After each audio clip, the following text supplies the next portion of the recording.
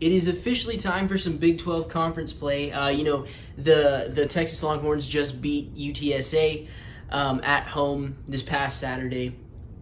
I'm going to talk about the first three non-conference games a little bit, kind of break down what I saw from the team, uh, you know, against ULM, Alabama, and UTSA, and then we're, we're also going to talk about what's to come in Big 12 conference play and a uh, big game against Texas Tech in Lubbock this Saturday. All that is coming up after this.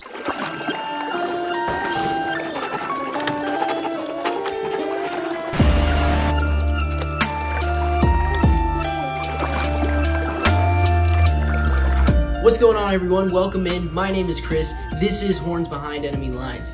Before we get this thing started, just to remind you all, be sure to like this video, uh, share share this page with your friends, with your family. You know, it's it's been it's been a it's been a while since I've been able to you know set up the camera and actually you know talk and stuff. Been really busy with work and all kinds of other things. Obviously, I moved. I moved um, location. I didn't move apartments. I moved upstairs.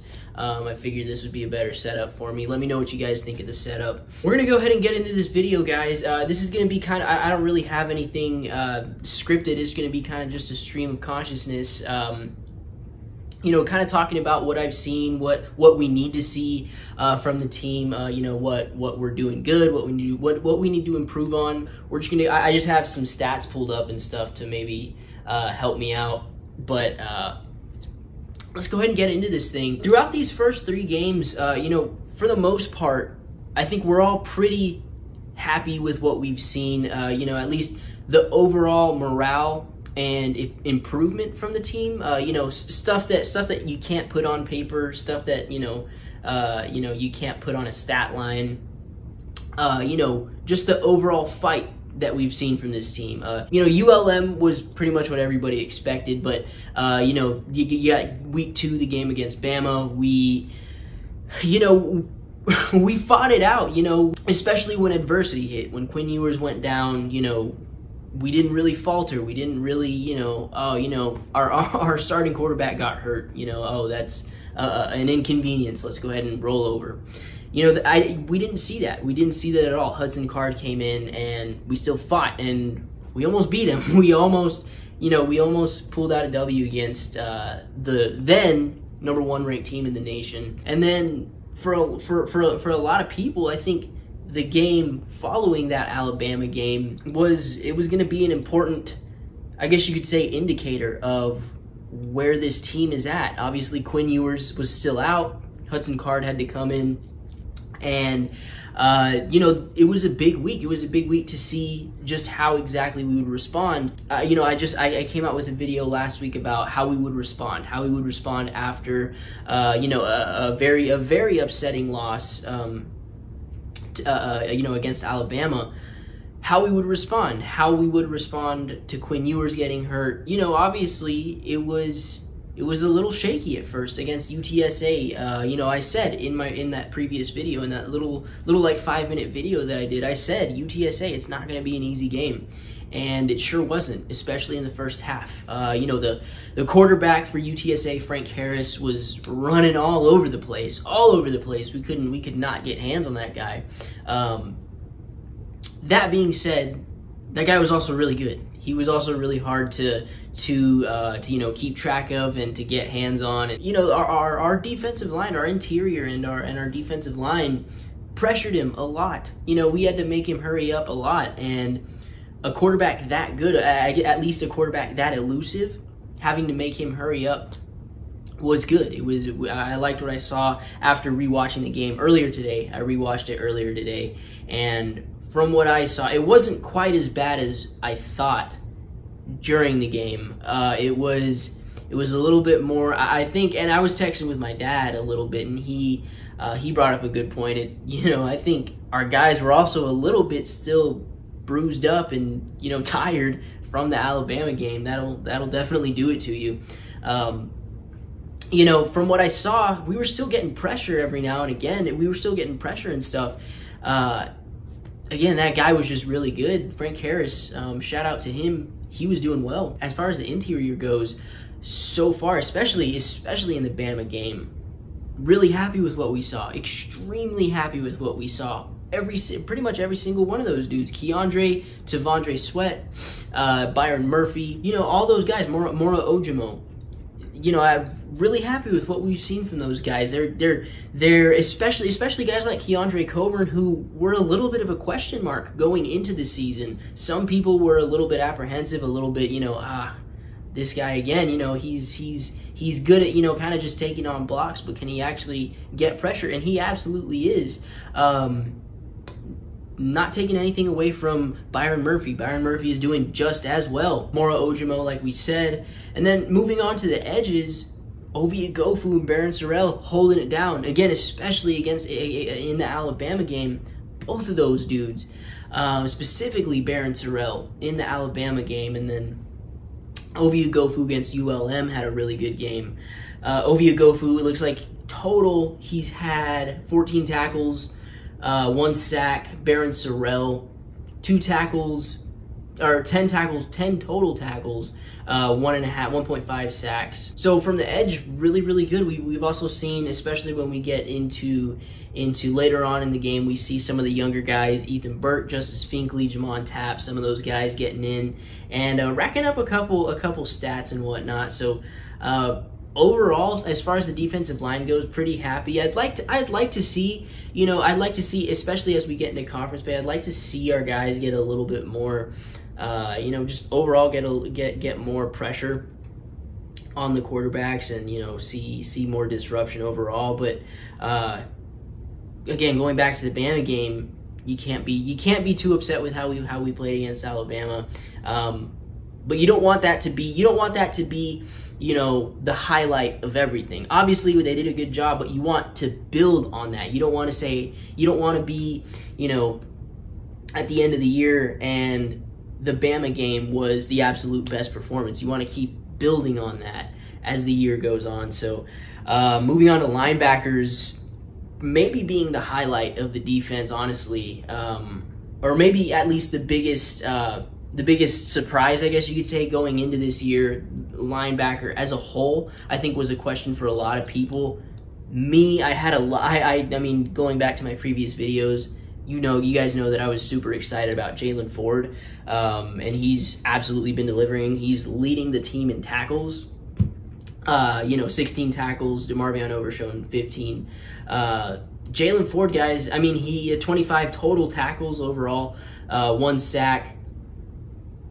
The dude's killing it. I mean, he, he's seriously coming through for us, uh, especially in a position that we really didn't know how well, what we were going to get from there. Um, based off of last year's play, again, I had a good feeling that he was gonna he was gonna do really well this year. um, and then obviously you got DeMarvion Overshown, 15 tackles, uh, 23 total tackles. Um, you know who you go back to this past game, UTSA played a pretty good game, and um, extremely garbage call on the on the on the targeting play where you know he got ejected for. Hopefully, uh, I, there's I don't think there's been any news uh, you know about the appeal to to try to let him come back. Um, so he doesn't have to miss that that Texas Tech or the first half of that Texas Tech game. Hopefully, we can still have him for that. Um, super happy with how he's played. I mean, he's probably definitely up in his draft stock for sure, uh, doing exactly what he came back to do. So super happy with him. Uh, Diamante Tucker Dorsey is getting his earning his snaps too. Uh, you know, eight total tackles, one sack even for for Tuck. Uh, you know he's doing really well too when he when he when he comes in. You know super happy with the linebackers. Again, going back to the fact that this was a very very questionable position for us, especially in terms of depth. When you talk about depth, you know there's not a lot of guys. There's still not a lot of guys behind those guys. Um, so super happy with the linebackers, especially Jaylan Ford. He's he's easily easily emerging as a, as a as a leader for this defense. As far as defensive backs goes, you know, I think there's there's definitely that is the that's the position group on defense where you where you definitely want to see um, I think the most improvement from overall they've played pretty good. I don't I don't want to I definitely want to give them give credit where credit's due. I mean guys like Jahdae Barron, uh, guys like Anthony Cook are, are doing extremely well. Um, it wasn't really it wasn't up up until this past game that we saw Um, you know, some pretty questionable. You know, Ryan Watts struggled a little bit.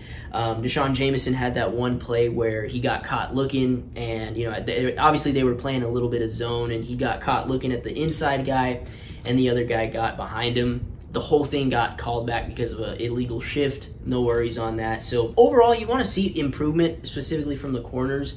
Um, you know, a lot of that I think is especially especially early on in in the game.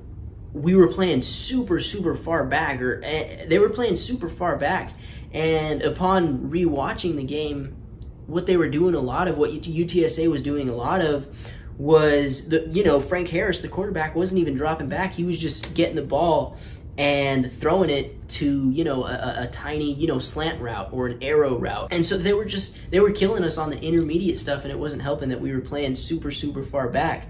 You go back to the offseason when when Sark was talking about you know defensive backs and you know wanting to play more physical wanting to play you know more tight coverage more physical coverage um, I'd like to see a little bit more of that. Honestly, I think the guys that we have are athletic enough. D'Shawn Jamison, you know, maybe a little bit undersized, but but he's fast enough. That that's the thing is he's fast enough to be able to keep up with people, and he's got the ball skills to be able to keep up with these guys. Uh, same thing. Well, Ryan Watts is kind of the opposite in in a way. He's he's tall, he's long, and he's absolutely got the physicality to be able to hang uh, pretty much with any receiver. You just want to see overall improvement from those guys. Again, they're not doing too too bad.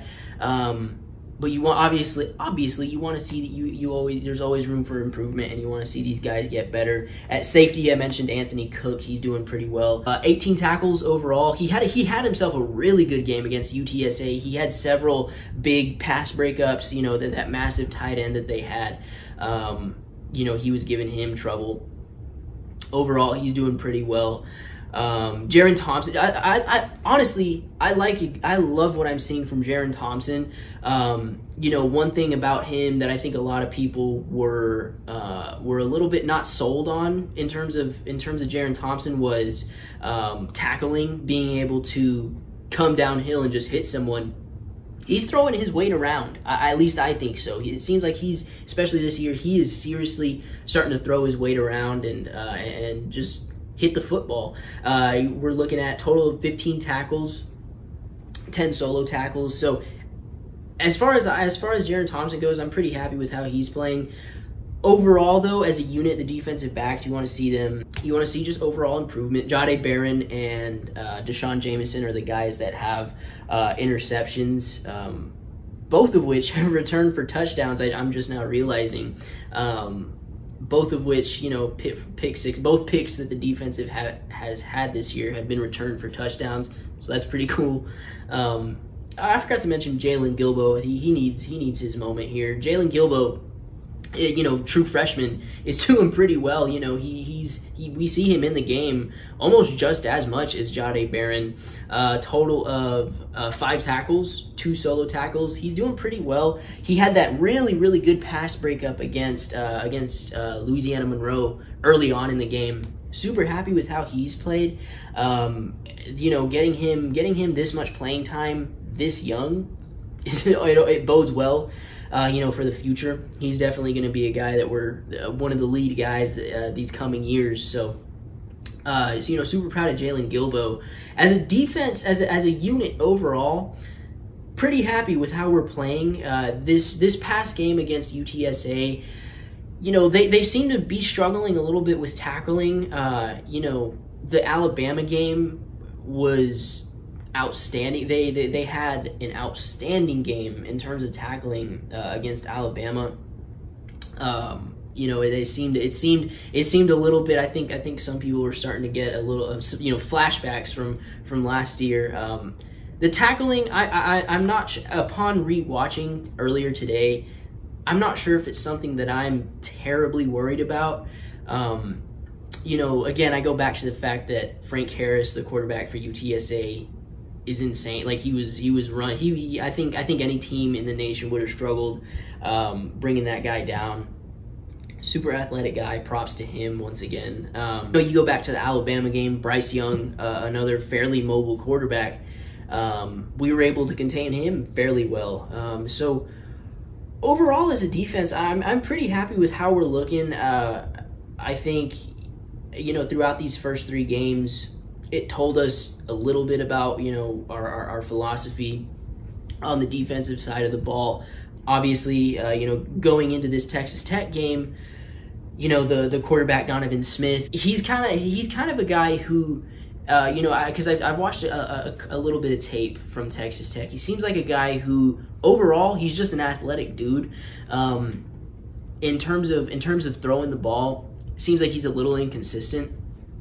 Uh, you know, he uh, I don't have his stats pulled up. I guess I can pull up his stats really quick. Say he this year he's 77 of 110 attempts, um, so it's not bad. 64 64 percent completion uh, percentage, 785 yards total. He averages 7.1 yards, seven touchdowns, five interceptions. That's that's not great. Uh, you know, it's it's uh, he obviously it seems that he struggles. He struggles. He's he's struggling a little bit with with uh, you know protecting the football, but uh, from what I've seen, he's fairly he's fairly elusive. So uh, we're gonna we're gonna definitely we're gonna definitely be looking to contain him and make him have to throw the ball because uh, I think that's that's when he, when he's going to be most vulnerable. Uh, when the football is going to be most vulnerable is when the ball is in the air. Um, you know, five interceptions. That tells me again that he struggles a little bit with protecting the football. So um, we'll see. We'll see how he how how we do against that against that Texas Tech offense. Um, you know, their running backs. Uh, Taj, Book, Tahj Brooks and SaRodorick Thompson. Uh, SaRodorick Thompson's been there for a while. He's, you know, both of those guys are hard, hard runners. Uh, so, so keeping those guys contained, I think, I think the game plan, I think, is going to be making them having to throw the ball uh, make make him have to th- make him have to beat us in the air, uh, make him have to throw the ball. So definitely going to be an interesting game on the defensive side of the ball. We're going to have to contain the Red Raiders in Lubbock. Crazy environment. So uh, moving on to the offensive side of the ball, I think we'll go ahead and talk about uh, the quarterback the quarterback situation. Um, the quarterback situation for the Longhorns. Um, you know, obviously Quinn Ewers uh, gets hurt during the first quarter of the Alabama game. Hudson Card has to come in. Hudson Card gets a little bit banged up. Uh, you know, he's he's got an ankle, a little bit of an ankle injury, and you know he he finishes out the Alabama game. We, you go into UTSA, and he was a little bit questionable. People were, were kind of thinking it was it might be um, Charles Wright that comes in for UTSA, uh, but Hudson Card ended up coming out, and he did he did pretty well. Uh, you know, I think obviously he struggled a little bit with getting the ball down the field. You have to wonder how much that's attributed to his ankle. Um, you know, having to, I, I can't remember exactly which ankle it is, but it doesn't really matter. Having to plant and throw the ball, I mean, that can that can kind of hinder your ability uh, to, to, to throw the ball. Uh, you saw him kind of struggle to connect uh, with Xavier Worthy um, on, on a couple of those deep balls uh, against UTSA. Overall, though, overall, I mean, all that being said, seriously, overall, you got to tip your hat to him. You got to tip your hat to Hudson Card. Coming, I mean, clearly, clearly the dude is not 100%. Clearly his angle is killing him. And he's still came in and led us to a victory. Um, you know that, that that's something again. That's something that you just that, that doesn't show up on on on stats. You know, 33, 33 completions, 50 attempts, 343 yards total, 66% completion rate or uh, uh, completion percentage. He's averaging 6.9 yards, one touchdown. Uh, you know, he's taken five sacks. Uh, but you know, overall, this is something that you know what he's bringing is something that something that a guy like Sam Ehlinger used to you know used to bring us. You know the the, the fight, the the not wanting to quit, and uh, you got you got to be proud of the guy. You got to be proud of Hudson Card. Um, all that being said, I think I think I speak for most people when I say um, we're excited to have Quinn back. Uh, you know, not sure. It's still it's still extremely up in the air if he's going to be back for this Texas Tech game on Saturday. Um, I'm conflicted. Honestly, I'm kind of conflicted. I don't really have an answer. I, I, would obviously I would like to have him back, but you don't want to re-injure him. We'll, we'll see what happens there. I, I again I would like to have him back, but I also don't want him to get hurt again. Um, you know, I think I think some people have have some faith in Hudson Card and being able to to to get us a W on the road against Texas Tech. Um, I am not sure. I mean, Texas Tech. I mean, you're talking about Lubbock. You're talking about honestly probably one of the hardest places in the nation. One of the hardest road environments in the nation. Honestly, Lubbock. It's a it's a crazy place. Love them or hate them. You gotta you gotta um, you got to appreciate the fact that uh, the Red Raider Nation definitely brings it. We'll see how it goes. I, I definitely, I definitely am going to be looking to see what happens with the quarterback situation. Um, talking about Quinn Ewers a little bit, um, you know, super, super, super happy with with how he's played. When you talk about, I think, I think collectively, college football fans, um, you know, upon upon watching the Alabama game, I think most people would probably tell you that Quinn Ewers doesn't go down. Texas probably wins that game.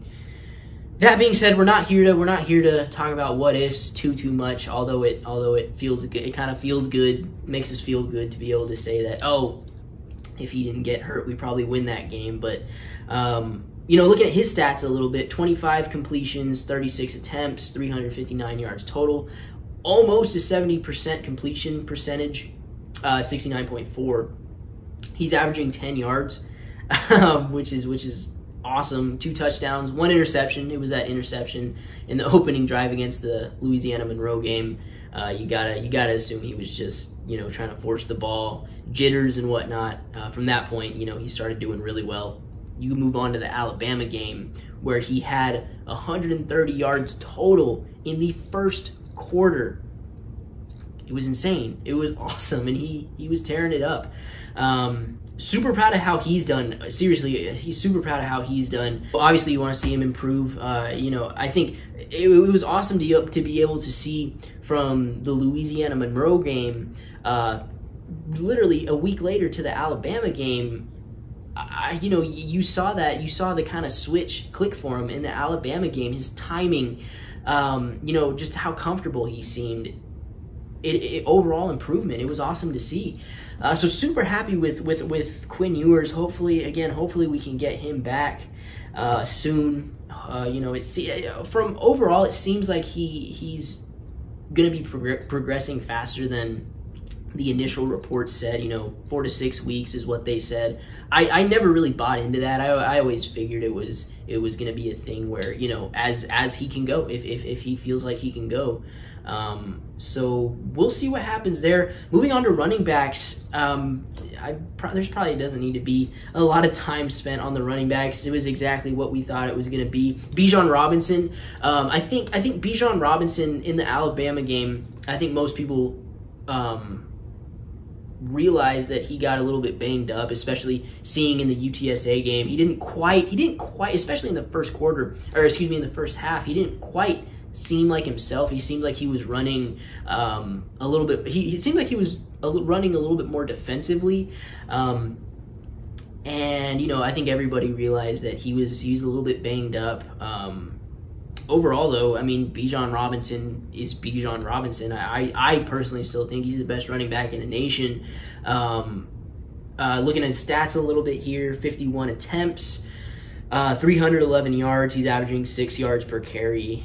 Um, he did that 78 yard touchdown run he had against UTSA uh, five touchdowns. He, he's, I mean, he's doing, he's doing awesome. He's doing well. I think a lot of this, a lot of it is attributed to the young offensive line. Um, I'll, I'll talk a little bit more about the offensive line in a little bit, but um, you know, I think the pass pro for the offensive line is a little bit more of the strength right now, and that makes sense. Again, I'll touch on it here in just a second, but um, you know, I think they're struggling a little bit with rush with with uh, with blocking for the run, but uh, definitely not upset with how Bijan's playing. Roschon Johnson deserves equal amount of praise as Bijan Robinson, if not more. Seriously, I mean, Roschon Johnson um, probably being the most valuable player, I would say, uh, in the U- in the UTSA game. I mean, the guy. Uh, it's something. It's just stuff that does not show up on a stat line. It's it's something. It's stuff that you can't punch into a calculator. It's it's it's stuff. He brings the leadership. He brings the energy, and he brings, you know, just the fight. The fight that you want to see from these guys. Um, you know, total, uh, looking at his stats 21 carries, 131 yards. He's averaging six yards per carry as well, 6.2 yards. Um, you know, one touchdown. I mean, the guy's tearing it up. He's what's insane. What's insane is this is a guy that would that could go on any team in America and start at running back, and he's you know he's still here with us.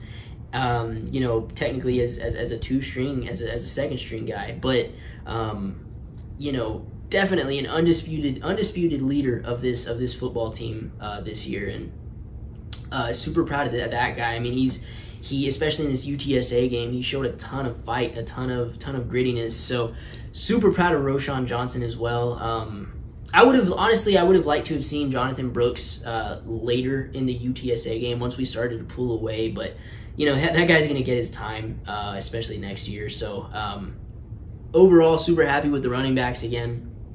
Uh, exactly what we were gonna, what we were expecting from the running backs. Um, I guess since we're here, we'll go ahead and talk about the offensive line. Um, you know, I like I said a second ago, I think pass pro is definitely the strength of this offensive line. To me, that makes perfect sense. It doesn't necessarily worry me just yet that that we're not as good at blocking, you know, for the run. Uh, I think that's that's attributed to these younger guys, a lot of these younger guys, Kelvin Banks, Cole Hudson, being a little bit better at just keeping a guy in front of them, moving their feet quickly and keeping a guy in front of them, as opposed to flat out beating their guy and moving guys. Um, you know, that's just going to come with maturity and growth and getting bigger and stronger um, overall. Uh, with that being said, I mean they're not doing bad at all. The, the this the offensive line unit as a whole, pretty happy with how they're playing. Um, I think you know they're, they're, especially especially in the UTSA game they didn't they didn't allow too many uh, pressures. You know Hudson Card was uh, pretty comfortable back there from from at least from what I saw. Um, thinking about it, he uh, you know he seemed fairly comfortable back there. He was able to be comfortable because of the offensive line. So you know uh, uh, Christian Jones I think deserves his moment here. Christian Jones probably the most improved player from last year to this year the dude is tearing it up. I mean, he's seriously he's coming to his own. Um, he's I think that he is seriously making a name for himself. You know, getting himself he might be earning himself some money on Sundays. So um, super proud, super super proud of Christian Jones and you know um, deciding to come back for his senior year and. Um, and just ball out. I mean, the, the guy's doing really well. Kelvin Banks on the other side, true freshman. Um, might be the best offensive lineman on the team, even though he's a true freshman. Um, uh, the, the, the, dude is doing so so so well from from from really every standpoint that you can possibly look at from a pass pro standpoint obviously um, you know quick feet super super quick feet keeping dudes in front of him uh, as well as just flat out beating his guys which is insane when you talk about the fact that this guy's a true freshman, moving into the interior, guys like Cole Hudson, guys like Hayden Conner, Jake Majors, they're doing pretty well. I think I think it's safe to say I think the the the the tackles are are definitely the strength. I think the guards the guards are struggling a little bit more than the tackles. Um, you know, Hayden Conner. Hayden Conner. it looked like, especially early in the game, I think he was struggling a little bit.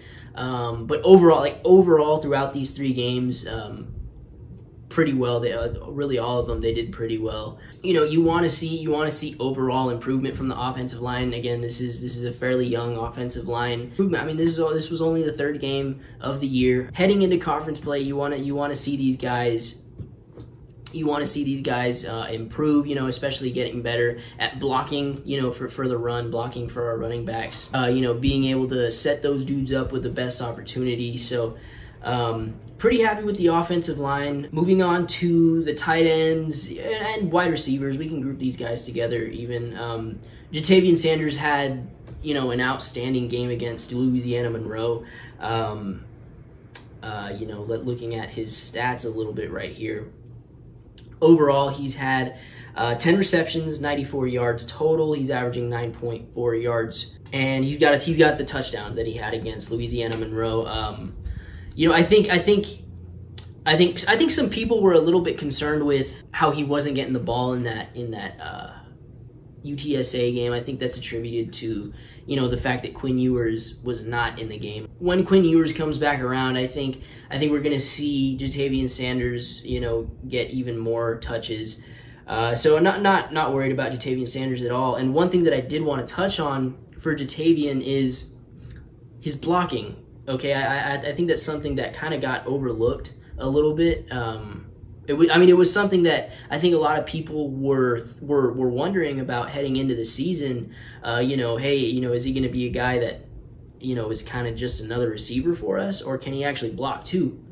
And the dude can block. The dude can absolutely block.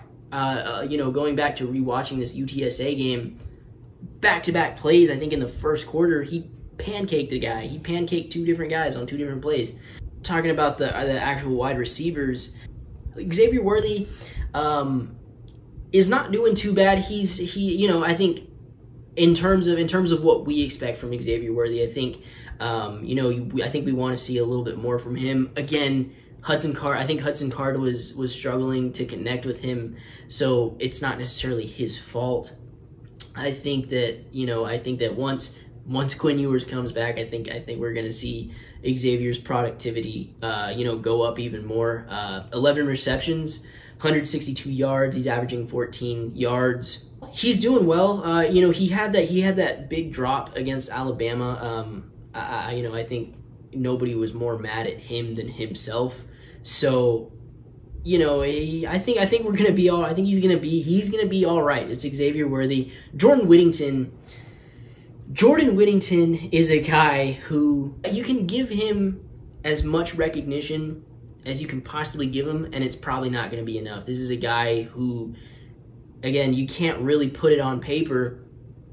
His blocking of these massive plays that, that get broken off on these massive plays and touchdowns that happen, you look over and you see Jordan Whittington just blocking his ass off, and it's insane. You know, this is a guy who, honestly, probably the best blocking receiver. Same thing, Casey Cain is doing well uh, in terms of blocking as well. Um, Jordan, but Jordan Whittington, I think, being uh, the sort of ringleader in terms of that. Uh, just overall consistency, uh, consistency from Jordan Whittington. Jordan Whittington actually uh, leads in receptions. He's got 14 receptions, 146 yards. He's averaging 10 yards. Um, really happy with Jordan Whittington. Um, Casey Cain is somebody who he's only got three receptions. He had that one really long. He had that one really long play against Alabama. Uh, three receptions, 70, 79 yards. Agiye Hall was able to get in a little bit at the end of that UTSA game. You know, obviously with with Isaiah Neyor being out for the season, um, I think I think Casey Cain, Casey Cain has definitely come into his own, especially you know from everything the off season. You know the fact that he was he was doing really well in the off season and whatnot. You know I think I think we were we were kind of just we were looking for that third guy that that that number three receiver that was gonna that was gonna.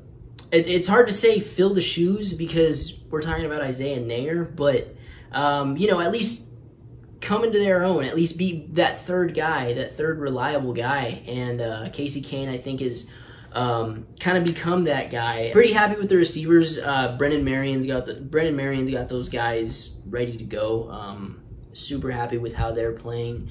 Um, I think we'll, we'll, we'll follow it up. We'll we'll uh, end it here with with special teams. Um, Bert Auburn is do is overall. I, you know you can't ask too much more from that guy. Um, you know he had the he had that miss against Alabama.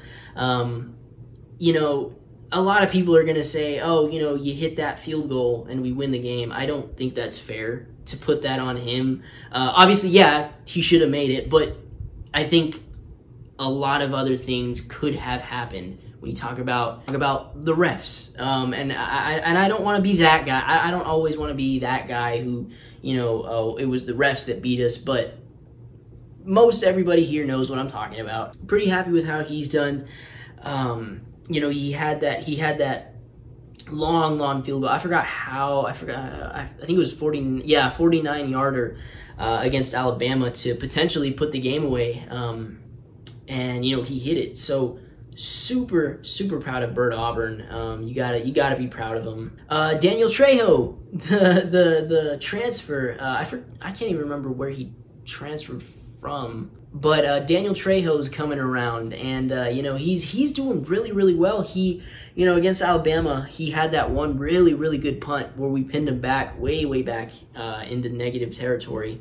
He kind of just came out of nowhere and and is really pulling his weight um, for punting. So. Um, we're, we're heading, like I said, we're heading into Big 12 conference play. I, this is this is this is when this is when it gets serious. I mean, not that it wasn't serious before, but I mean, this is this is it. This is. Um, I think I speak for everyone when I say that uh, we I would we really really would like to see us you know get a get a Big 12 championship before we leave. So um, it all starts here with Texas Tech uh, on the road. So we'll see how they do against Texas Tech. Um, I'm gonna be we're gonna be watching to see what happens with Quinn Ewers. You know if he can come back or not. Um, overall, you want to see you want to see. This is the first time we're on the road in again, like I said, probably one of the hardest road environments in college football in Lubbock. Um, so we're gonna be see. I mean, this is the first time this team is gonna be on the road. So we're gonna see how they respond to to being on the road. You know, you want to see. You want to see. I I think one of the biggest things. I think one of the biggest keys to victory. I haven't really thought about this yet, but I think probably one of the key, biggest keys is getting on top of stuff early. Uh, you know, getting getting ahead early. I think that's going to be a big thing. Um, you know, not not messing around because I think that was one of the big things uh, against UTSA is just not being able to get off the field on third down and you know just letting them hang around a little bit. Um, I think I think that's going to be a big thing. I think doing what we know we can do early on uh, you know, putting the game away fairly early. I think I, I think that's going to be the case for almost any game ever, but especially this game in a, in a tough road environment. Uh, you know, getting get, doing our stuff early on and um, getting out of there with a W. I think that's where we're gonna end the video, guys. So if you if you liked the video, be sure to like the video, subscribe uh, if you haven't yet. Subscribe uh, down below. Share this page with your friends and with your family. Comment down below um, if I missed anything. I'm, I'm, sure I missed things. I absolutely probably missed things. So um, what you saw from these first three non-conference games, things that you liked, things that you didn't like, things that you want to see or um, want to see less of comment down below. Uh, share your thoughts with me. I, I, definitely I love interacting with the comments. Uh, so you know, find me find me on Twitter. I'm on Twitter as well at Enemy Horns. Um, you know, I'm pretty pretty active on there, especially during during games. I, I tweet a little bit during games. So um, find me on Twitter and all that. Um, uh, you know, and I, I don't I don't have a next video planned out, but I'm, I'm sure I'm sure I'll be on here um, at some point soon. Maybe maybe after the Texas Tech game. We'll see how that game goes. But other than that, guys, super good to be able to come back and actually set up the camera, have the whole setup and everything. So uh, we'll see you guys in the next one. Hook 'em.